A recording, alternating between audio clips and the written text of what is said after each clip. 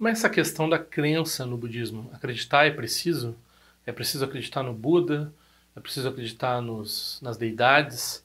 É preciso acreditar nos bodhisattvas? É preciso acreditar no renascimento? Ou talvez seja preciso duvidar do eu mais do que tudo isso? Que, que tal essa proposta?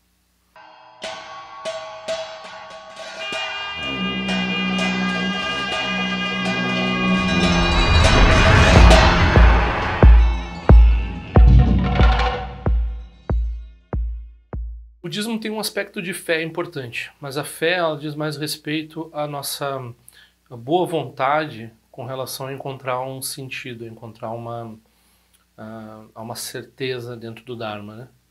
Então, isso pode vir simplesmente de uma interconexão, da gente achar um professor com reconhecer as qualidades dele, querer ser que nem ele. O próprio Buda, ou qualquer um dos alunos do Buda até hoje, se nós tivermos esse tipo de anelo, já olhar para essas figuras e pensar assim, ah, eu poderia talvez chegar perto desse tipo de, é isso que eu quero para mim. Então, esse, isso é o que mais ou menos a gente pode chamar de fé, né? Então é mais ou menos uma ideia de que a liberação é possível, é possível praticar e atingir o resultado, é possível é, e quais são essas qualidades, quais, qual é essa liberação a gente está vendo a gente tá, se não está vendo, a gente está lendo a história, mas a gente mais difícil, né? Ler a história do Buda e achar assim, ah, o Buda é uma coisa tão distante. Então, às vezes ajuda ver uma pessoa, um professor budista atual presente na sua frente.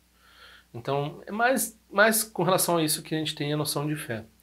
Daí depois, o que nós temos que trabalhar, por exemplo, a pessoa pensa, ah, eu tenho que aceitar renascimento, ou uma pessoa perguntou, ela já queria um budismo customizado, né? Ela perguntou, ah, puxa, esse negócio de iluminação é legal, mas essa coisa de voltar vez após vez, samsara infinito, isso daí não... Não tem um budismo assim que, que eu possa seguir que não tem esse tipo de coisa? Será que isso daí é uma, uma, uma, uma não tem um budismo assim para mim assim que eu não quero saber dessa ideia? Então, normalmente uh, a nossa atitude deve ser assim, reconhecer que a gente não tem isenção, a, não, a nossa mente não está operando de forma livre e isenta nesse momento. Nós somos convencidos por várias ideologias, por várias uh, formas de ver, que tem a ver até com hábitos muito arraigados ligados à nossa percepção e assim por diante. E tudo isso nos leva a sofrer e a perceber as coisas erroneamente. Uma coisa está ligada à outra, perceber as, a realidade como ela não é e sofrer é parecido. Então, nós começamos desafiando um, o que está mais perto, o que pode ser resolvido, né?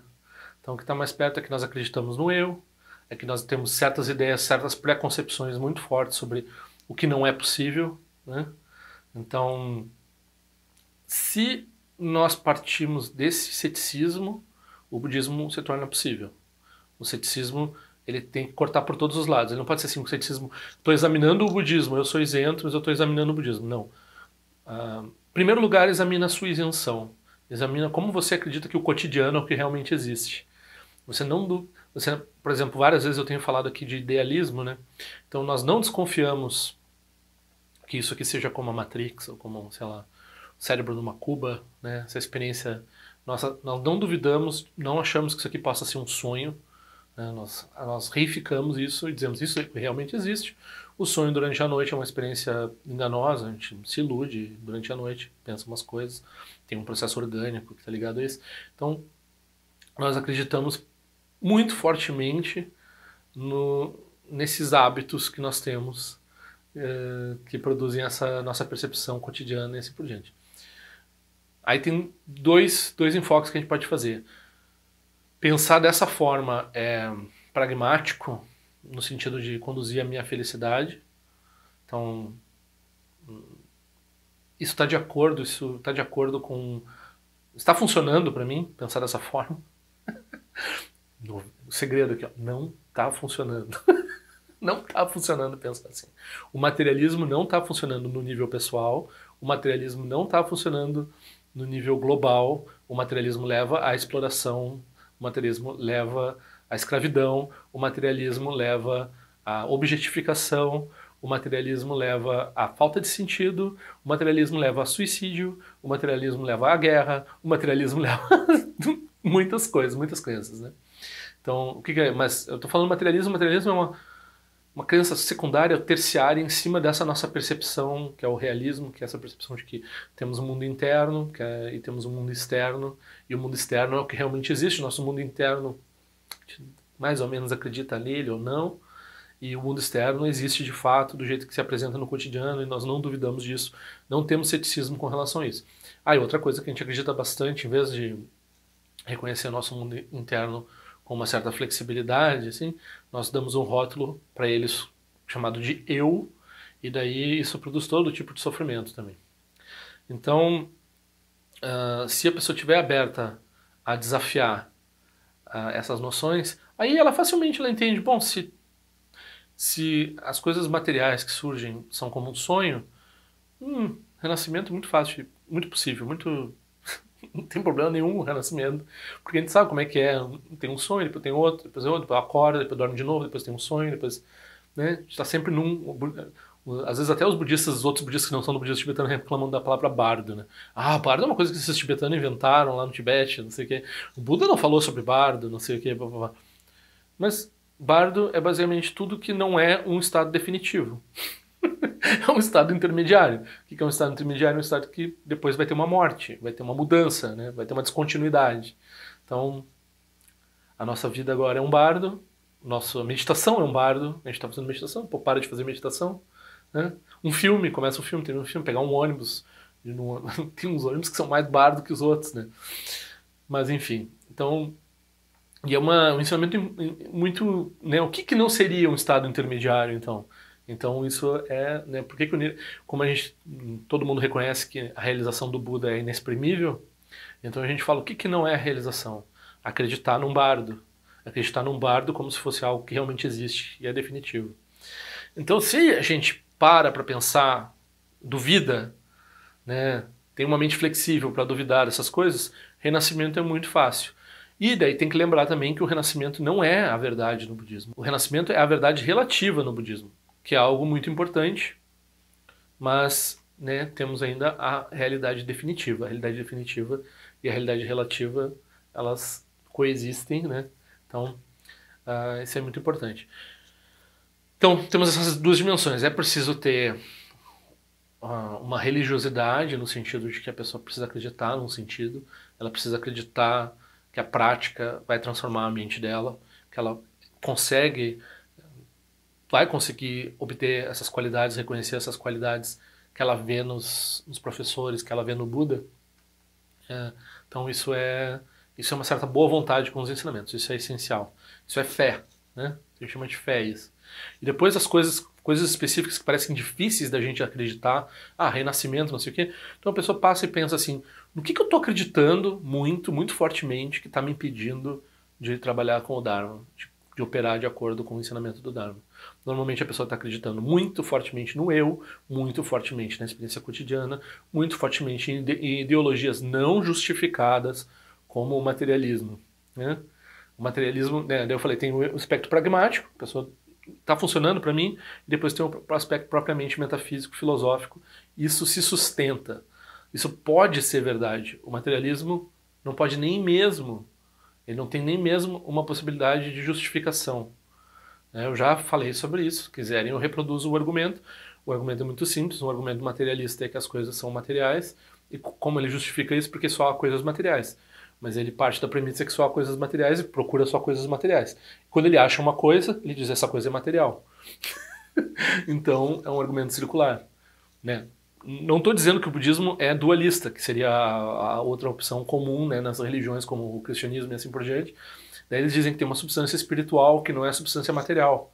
Mas para a gente entender o que eles estão falando, eles estão dizendo assim, não é uma substância material. Então não pode ser encontrada por processos materiais, não pode, não está em contato. Né? Eles têm todo tipo de problema com isso também. O budismo não é nenhuma coisa nem outra.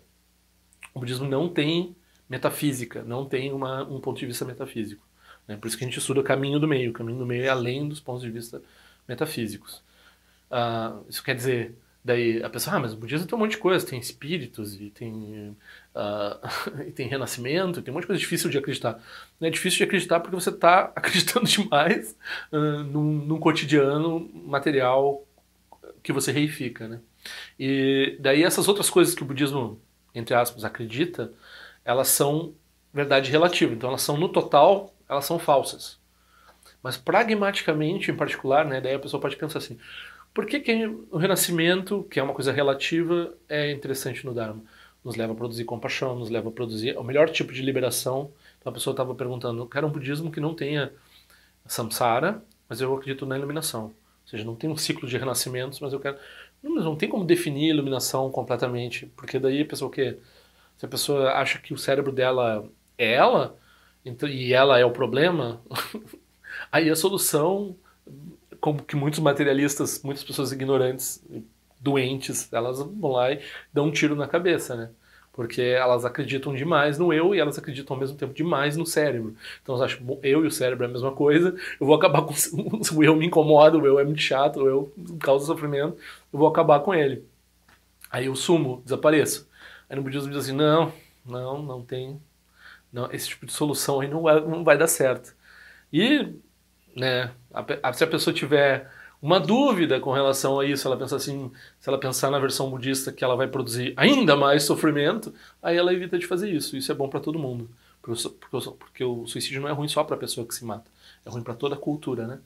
Então todo mundo de em volta sofre, todo mundo em volta recebe uma mensagem negativa com relação às coisas, tudo, tudo se reifica de um jeito ruim, e aí tudo é ruim para todo mundo. Então o jeito budista é hábil nos dois sentidos. Ele é hábil porque ele não se apega a posições metafísicas de nenhum tipo, e ele é hábil porque ele aceita o que pragmaticamente produz felicidade. Então, é, o budismo faz muito sentido. Né? Basicamente isso que a gente acaba dizendo.